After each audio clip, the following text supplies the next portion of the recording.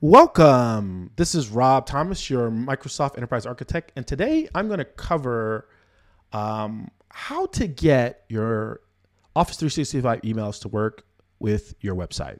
Now, I'm going to use some common tools in place. Like most majority of people have WordPress site, so I'm going to use WordPress. So you can see here I'm logged in, and this is my WordPress site, and I'm going to use a tool called WP um, Mail SM SMTP Pro because this is recommended by all of the vendors.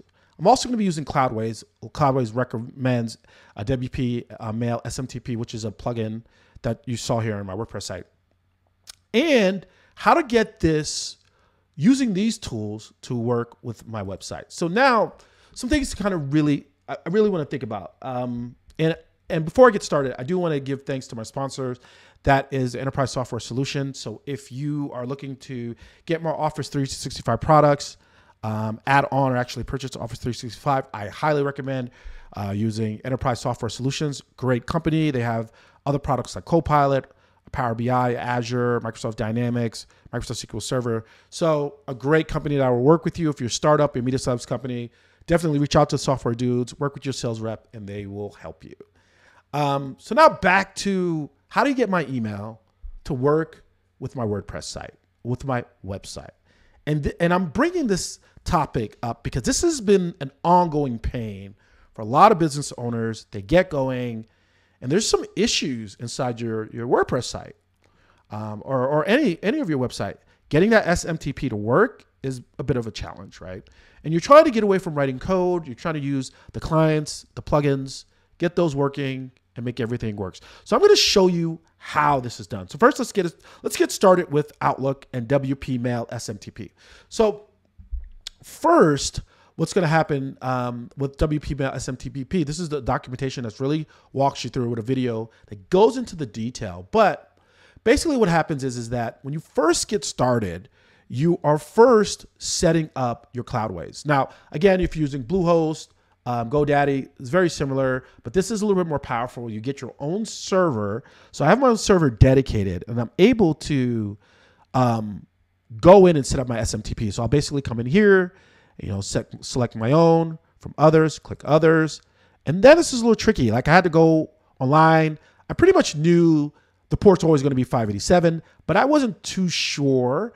And after doing some research online, yes, SMTP Office365.com is how you get on Office 365, right? So that was right. So I got my hosting. So I got those those things there. If you click update, and then this is where I put in my email address. So when I'm logging into my email account, right? So if I go um, here and I click on Outlook, and I just or I log into my Office 365, this is going to be my main account. So I'm going to put my username, um, and it would be you know uh, um, our time, uh, you know Rob at thetrustedautomation.com and then put in my password, right? And then hit save, and then I'm good. Then I would come here. Um, let me click out and click back in. Gotta be careful. I don't want to click out. I have passwords and stuff here. But if I click here and I just move, right? I could I could move and I could just say it's coming from anywhere, right? Um, I could say it's like that, and I could put an email address, right? And I could say it's coming from myself or whatever. I could say, you know, Rob at the Trusted Automation or whatever. And once I put that there and I hit the send test email, it works, right? Now I log into this environment and I go to my contact page. So I'm in here and I'll go to my contact page and then I'll tell my, and then I'll fill out the form and then the emails are not sent to me, right? So most of us are using contact seven. So you're going to have this contact form, you, you know, you set up the integration and you set up the form, everything is working it's just that every time I get to my contact us page and I'll just click here and I fill out the form, I don't get the email, right? So I, I walk through the configuration of, of getting this set up. So the next thing is make sure the plugin's installed and ready to go.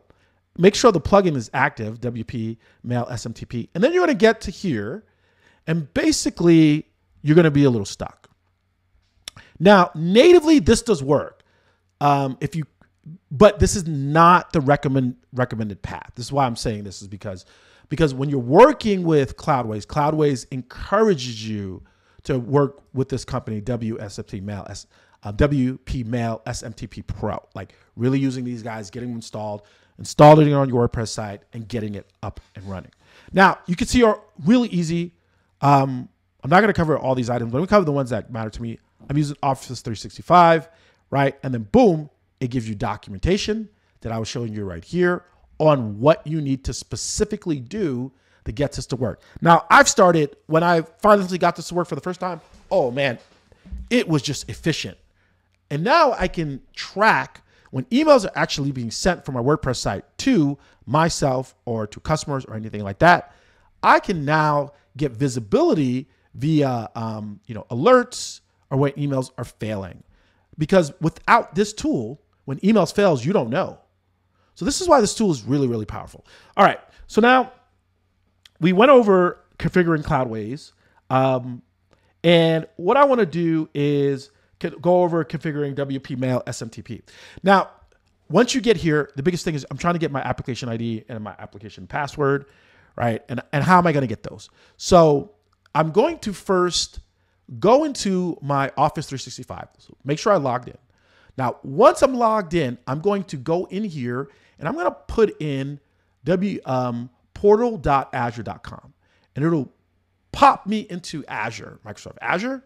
And then when I'm in Azure, I'm going to click on the homepage. Now, because I have this set up, so I don't want to share my all application, my own application, because it'll show my client ID. So that's why I have, it on a deleted app. I'm going to show another, um, you know, our, my test account that I've been using with you guys um, on a, a, a couple of tests. So I am going to pull that up, right?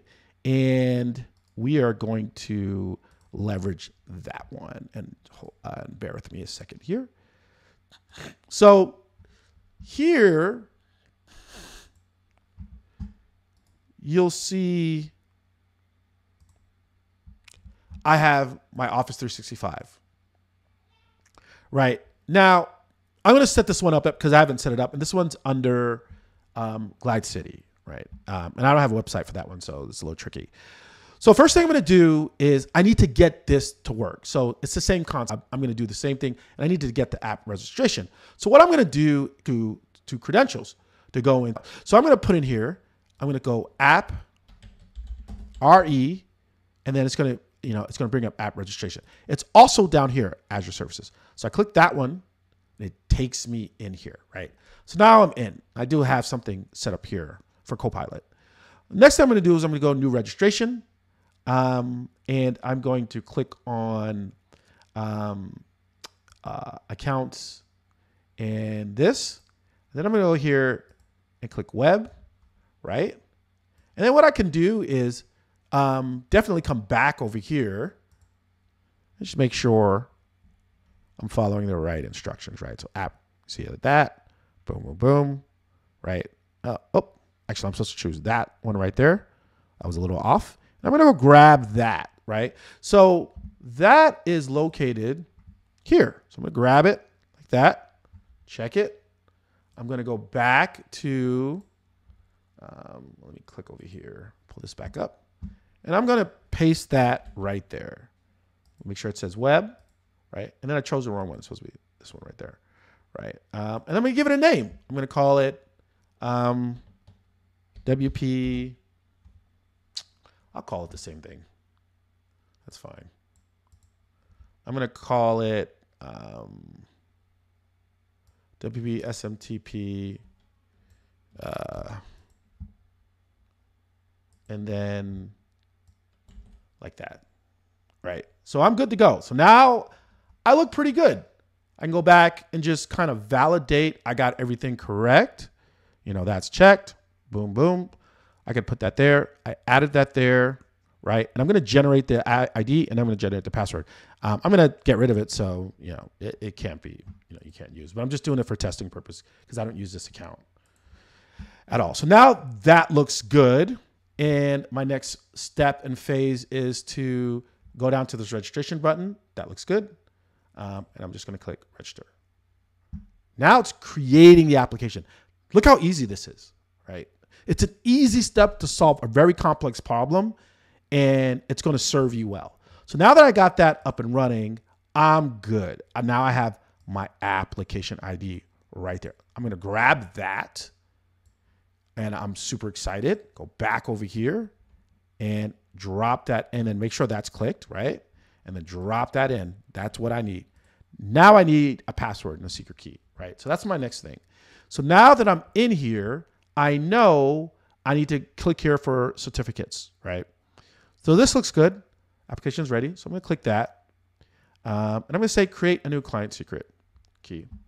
Uh, and I'm going to say, you know, um, password. Just give it a name password for actually, for WP, whatever, right? And then you can only go 24 months. This custom doesn't work. You just click here to 24 months. It's up to you if you want to change every six months. Totally up to you. And I'm just going to click add. And then I'm done. That simple, that easy. This could totally stress you out. And you don't need the secret ID, but you do need this value right here. So you're going to grab that value right there. And then you're going to go back and you're going to drop it in the password right there. And then you're going to click save. Boom. Save. Actually, let me save it. Might not work, or it might work. We'll see. It shouldn't work because I'm I'm on two different platforms. Uh, it might work. Oh, it did work. Wow. Okay. So now I set that, right? And I'm good. Now I'm going to click this button says allow the plugin to send emails using your Microsoft account. So I'm going to click that button. And it's going to trigger a login. So this might fail because my login is a little different. Um, but it's it's going to trigger it because it's going to ask questions under this, like, can I access blah blah. And I'm gonna, I'm gonna click cancel because I don't want it to go. But ultimately, you see what I'm doing, right? I'm gonna click accept. Again, I'm logged into two pl- platforms just for demonstration purposes, and then you wouldn't have got this error message. It would have just worked, um, and then you're good to go. Now, I'm actually going to set this up because I haven't set this up in a while, and I'm going to remove these keys. Um, and you could see I need to. This is mine, right? I need to actually go in here, um, register it, get the ID, get the password, do that step, and um, and then get it working. So actually, let me do. Let me pause. Let me do that now. Get that working, and then I'll be right back. Okay, we're back. So I went ahead and set everything up. Um, can't show it because I set up my keys um, inside of that uh, infrastructure. So I got that working. Everything is looking good. So just to recap, I basically went in and got the ID and got this value, this the the, the password, which is the secret key, which is not the ID, but the value here. And then basically what I did was I went back in and I added them below here. So can't show them because I'm I set it up here correctly. And then my main my main account, um, where I have you know trusted automation all, all on one Office 365. So I have multiple domains, right?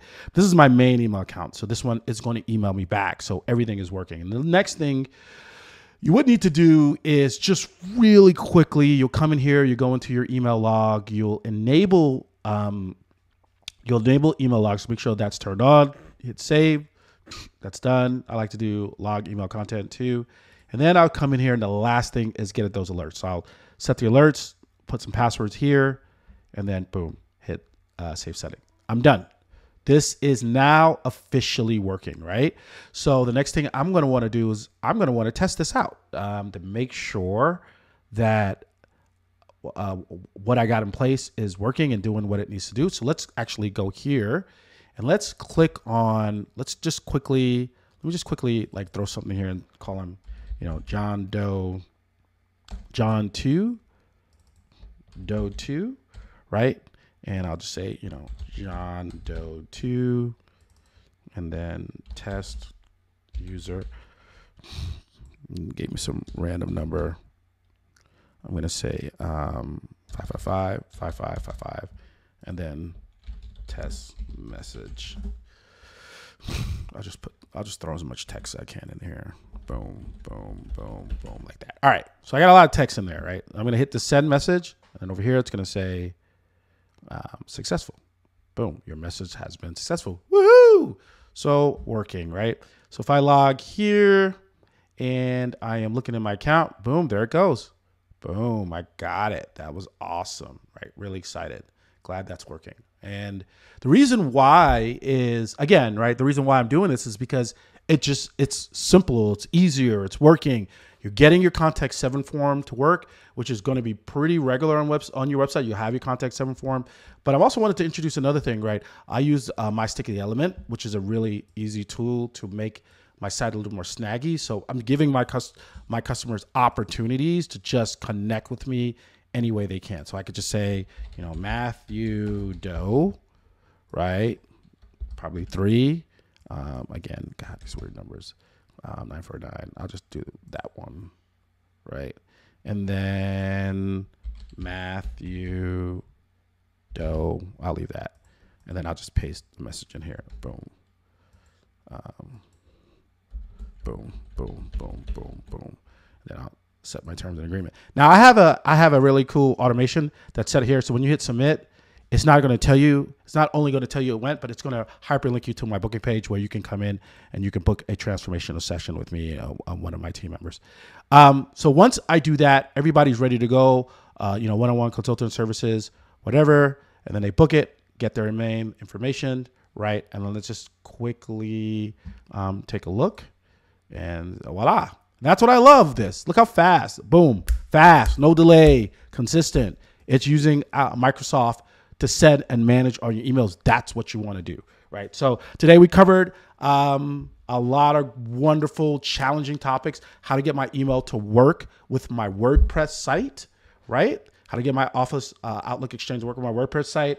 Um, configuring and setting up Cloudways, looking at making sure that's set up, going into Outlook and making sure my um, Azure is set up there, getting you know getting that the ID and the password, going to WP uh, mail SMTP inside of WordPress and making sure that's set up and that's ready to go. And then testing the email delivery. So just testing, go to my website, testing, make sure everything's working, and make sure the alerts are set up. So I really hope you solve the big problem. Like if you do this, it's going to be easy. Now, if you go another route, you're going to have challenges. So I do encourage you, for a majority of you are using that. Um, you might be using probably another email a client. So concept still works. It's just maybe a different plugin, maybe a different tool, but the concept still works. You really want to use some type of email client that's built in. It's going to help for you, make you very successful. This is key because if you're not getting emails from your website, you're not getting sales. So thank you so much for letting me share with you tools to help you make you super successful. And by all means, comment below and have a great evening. Thanks. Bye.